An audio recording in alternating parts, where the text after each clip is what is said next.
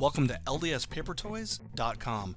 This is my food storage room in Houston, Texas. Here we came up with a great technique for rotating our food.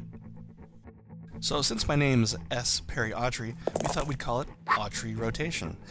But then I thought that's a little vain and not very descriptive, so we went with column rotation instead. But let's back up.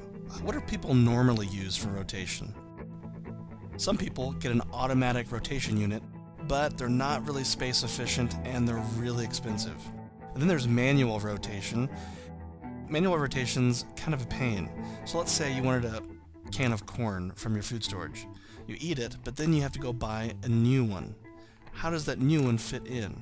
You have to remove all old cans, stick the new one in the back, and then one at a time, put the old ones back in front. It's a major pain, especially if you have a room full of food. But luckily, we came up with Autry, I mean, column rotation. So what is column rotation? Let's say that you've done the math and you know that your family needs three columns of corn. So we're going to add one extra column just to make sure you always have enough food. Then we're simply going to add labels on the left side of each section of food. Whenever we eat from the food storage room, we always pull from the active column marked by that label. So you'll continue to eat from that column, but now it's payday and you're about to go shopping. Based on what you see, should you buy corn?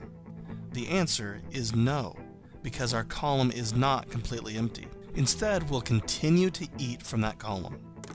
But now that the column is empty, we can move the tag to the right. Now we've marked a new active column and we'll start to eat from that column instead.